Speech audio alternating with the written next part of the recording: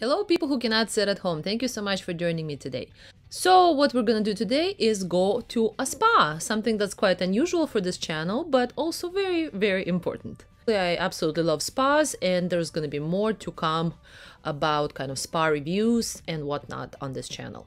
Because we all need to relax and unwind.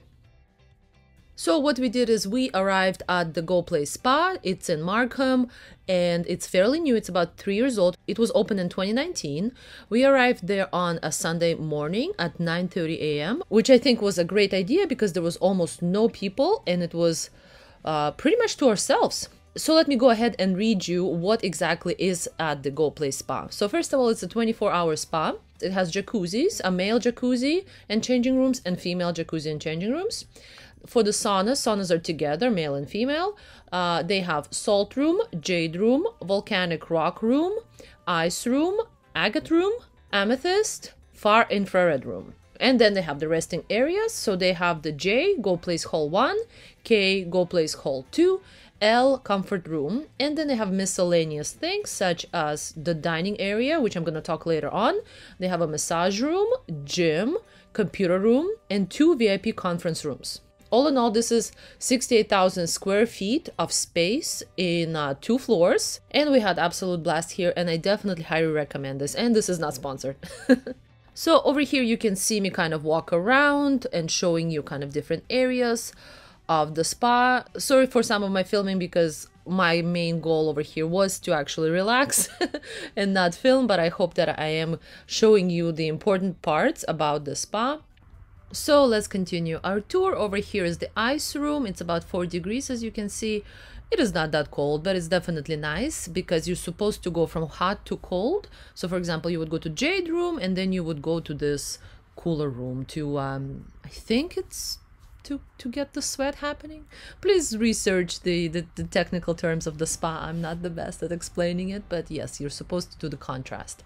Over here, it's just kind of like the hallway. It's designed beautifully. You can definitely lay down. There's lots of couches. If you ask the nice gentlemen or ladies around, uh, they have the blankets. You can ask for blankets. There are lots of towels all around.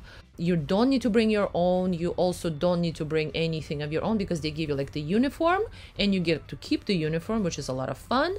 Uh, the only thing I would suggest is do buy the $3 slippers. I don't think you can bring your own slippers. Over here, we're gonna go into the agate room.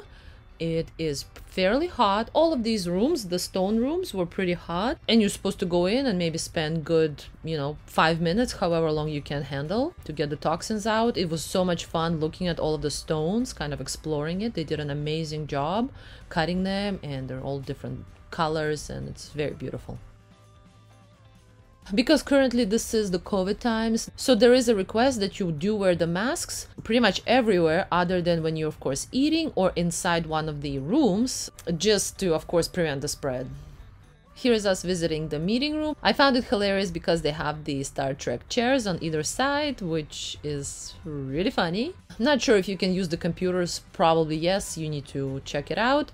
The gym was interesting because of course you can use it, but because you don't have the shoes, they provide the shoes, which is also very interesting to see. So you have different sizes, male, female, they have kind of like the deodorant type of thing over there, they have the socks to put on and um, I thought that was actually a cool idea because of course yes I it, you don't usually bring shoes to a spa so this was a nice touch.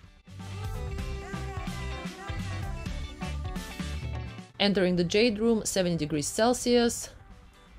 Definitely hot very beautiful. Again one of those rooms where you can spend time not only detoxing but looking at the walls. Overall, I was really blown away by the detailing and the stones and, quite frankly, the richness that this whole spa has been done with.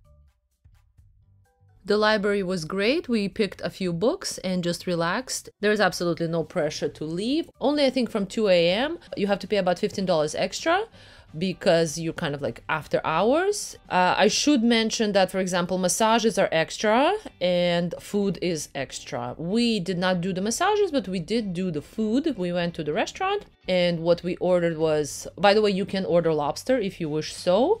And they can even make sushi out of it and uh, there are different ways that they can prepare it. We ordered sashimi. It was about $17 i'd say it's a bit small sized i would not recommend.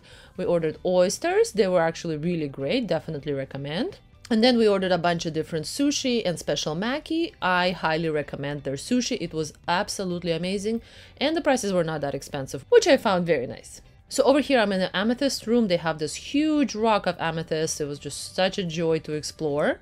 The room itself is kind of lukewarm. It's more of a yoga studio and you can lay down on the floor, zone out. Right behind the amethyst room, there is a room that you don't even see, but make sure to go if you are there. It's a movie room. There are literally beds where you can relax. Nothing is showing, but it's very cool to be in a movie theater, which by the way, this was an old movie theater, so they kept one of the rooms. And this is pretty much it that I wanted to show you of the spa. Let me know if you have any questions down below. Definitely do recommend this and make sure to go in the morning because it does get really full at about 2.30 I would say. Thank you so much and of course subscribe, like and share if you enjoy my trips. Thank you, bye.